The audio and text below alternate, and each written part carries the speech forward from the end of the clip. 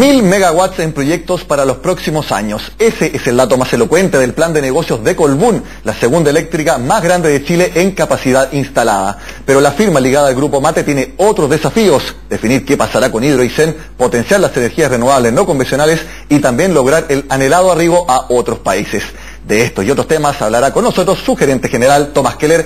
Muchas gracias por estar con nosotros. Gracias por invitarme. Tomás, yo creo que es la pregunta que se hacen todos cuando se habla de Colbún, cuando se habla de Endesa, en definitiva, el proyecto de Hidroicén. ¿Qué es lo que va a pasar con el que, a juicio de todos también, es el proyecto más polémico de generación eléctrica en los últimos años? Sí, bueno, eh, todos sabemos que eh, hay un proceso legal en curso en el cual Hidroicén está defendiendo la resolución de, calificación ambiental que obtuvo en su, en su oportunidad y que fue rechazada por el Consejo de Ministros. Así que estamos a la espera de esa resolución. Obviamente nosotros somos, estamos muy optimistas de que eventualmente ese proyecto puede materializarse porque es un buen proyecto para Colbún, perdón, para Hidroicén más bien, y también, y lo más importante, para Chile. Pero ahí estamos a la espera de, de, las resoluciones y los procesos judiciales. Sí, se lo pregunto porque ya muchos lo dan como cerrado. De hecho, Endesa, eh, lo, lo, explicó Enel, que es la controladora de Endesa, señalaron que se van a enfocar en proyectos más pequeños y sobre todo que no tengan oposición por parte de la ciudadanía. Eso, a, a buen entendedor, es que uno, uno, uno, puede leer que estaría prácticamente cerrado, no seguirían con Hidroicer. ¿Ustedes no tienen entonces la misma lectura que ellos? No, yo creo que eh, claramente de común acuerdo hemos, hemos resuelto de que tenemos, ese, tenemos interés en seguir protegiendo los derechos de, de Hidroesen, los derechos de agua, ¿cierto? las razones de calificación ambiental y en eso estamos trabajando en conjunto. ¿Van a seguir hasta el final entonces de esa instancia? Por supuesto. Vamos a esperar, ¿cierto?, que los tribunales resuelvan esos procesos como corresponde. Bueno, vamos a ver qué pasa entonces con Hidroicen. Ahora pasando a otro tema, me interesa netamente en los planes de negocios que hablábamos de Colbún, mil megawatts para los próximos años. Por eso, para las personas que estén en su casa, hemos preparado alguna gráfica para entender cuál es la participación que tiene Colbún dentro de la matriz eléctrica a nivel nacional. Para eso hemos preparado la siguiente infografía y a la cual también Tomás Keller nos podrá comentar. A mayo de 2015, según la Comisión Nacional de Energía y también Colbún, el total del país todos los sistemas interconectados, también distintos sistemas aislados en el país, incluido Isla de Pascua, eso también lo hemos añadido, hay 19.104 megawatts de potencia instalada.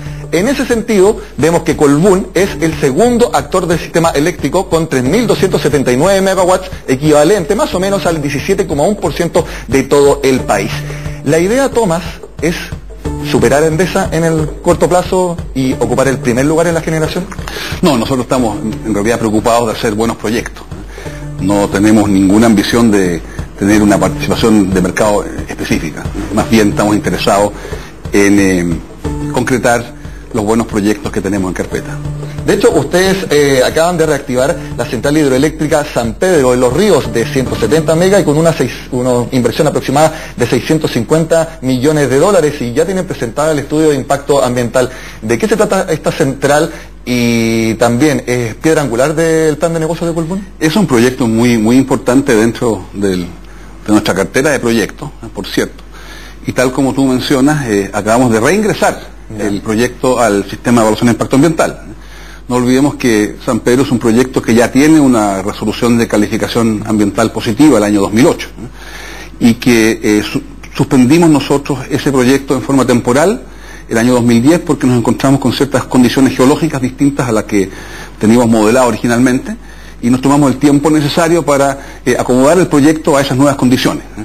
Ese trabajo concluyó eh, hace aproximadamente un año y eh, en ese intertanto hemos socializado estos cambios con eh, las comunidades en las cuales vamos a operar, eh, hemos informado a los distintos grupos de interés en que consisten estas modificaciones para retomar la, construcción de, de, este, de, este, proyecto. Este es un proyecto del cual estamos muy orgullosos, pensamos que es un muy buen proyecto, es un proyecto que genera energía segura, energía limpia, energía renovable, y también energía a un costo muy competitivo, que es uno de los grandes desafíos que tiene este país para poder retomar las tasas de crecimiento que, a las cuales estábamos acostumbrados en Chile. Bueno, y eso lo sabe usted muy bien, que estuvo tanto tiempo ligado a la minería y que muchas veces lo escuchamos hablar del tema de los costos de la energía. También se habla de otro proyecto, Tomás, y que salió en la prensa durante esta semana, el proyecto Guayquivilo Melado, que sería un complejo de cinco centrales de pasada, eso obviamente hidroelectricidad, y dos unidades también mini hidro en el Maule, similar a Alto Maipo, se menciona un costo de inversión de mil millones de dólares, incluso se menciona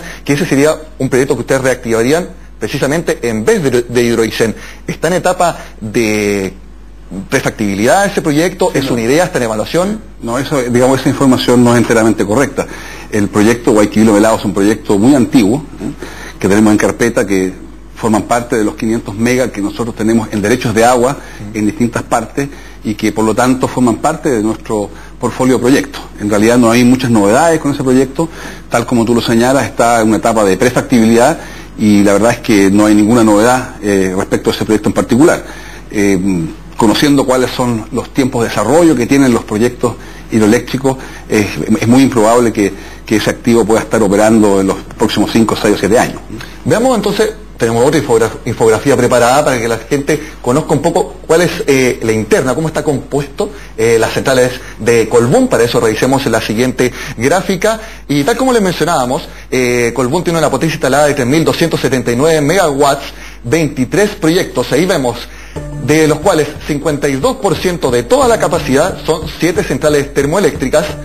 El resto, vemos que hidrología de embalse son cuatro proyectos con un 32% de participación, hidrología de pasada, que son centrales más pequeñas, 16% de participación. Dentro de eso el 52% es termo. ¿Eso es más carbón, más diésel? ¿Cuál es la composición, Tomás? Eso es fundamentalmente, o en su, en su mayoría son centrales de ciclo combinado, va a decir, funcionan en base a gas y son duales y por lo tanto podrían funcionar también eventualmente a eh, petróleo diésel, pero están diseñados fundamentalmente para operar a gas.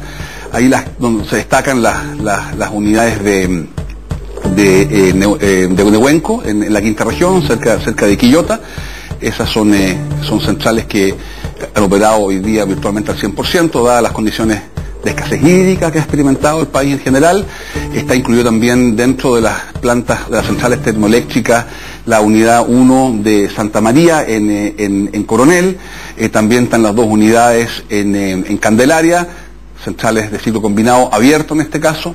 Y también tenemos las unidades en, en, la, en Antilue y también en eh, San Pedro. Pero usted ya lleva prácticamente un año como gerente general de Colbún. ¿Qué otros proyectos le gustaría impulsar? Por lo, menos, por lo menos en este portfolio no veo eólicas, no veo solares. ¿Quieren dar ese paso? Bueno, la verdad es que yo haría una pequeña corrección a esa, a esa, a esa transparencia. Nosotros, eh, en realidad, yo estamos, estamos presentes con un proyecto eólico que se inauguró en eh, diciembre del año pasado, que es el proyecto de Punta Palmera en, en la cuarta región, son 50 megas y donde nosotros eh, actuamos como comprador del 100% de la energía de ese proyecto. Y eso, eso, eso eh, posibilitó en realidad que ese proyecto se desarrollara. La idea ya, ya, estamos presentes, por lo tanto, en, en lo que es hidro, eh, en lo que es energía eólica. Y también no olvidemos que nosotros tenemos dos pequeñas unidades de pasadas, de hidro de pasada, que califican también por eh, la potencia que tienen como energías renovables no convencionales. Por lo tanto, nosotros ya tenemos una presencia importante en el mercado de las eh, energías renovables no convencionales. ¿Y su idea es potenciar eso ahora que está a cargo de la gerencia general? Así es, eh, nosotros pensamos de que eh, el futuro de la matriz energética chilena en general, y por lo tanto también de Colbún pasa por contar con una matriz bien diversificada y nuestra nuestra estrategia de crecimiento apunta también y es consistente con esa con esa mirada. Bueno, uno de los objetivos también de Colbún es llegar a otros países de la región, es algo que conversaremos con Thomas Keller a la vuelta de esta pausa en Agenda Económica.